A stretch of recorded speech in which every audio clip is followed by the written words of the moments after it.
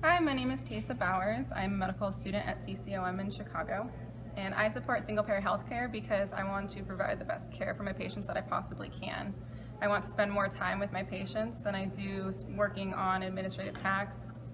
Um, and I don't want my conversation with my patient to fo be focused on bills that may force them to choose between the healthcare that they so desperately need and other basic life needs such as providing food or shelter for their family.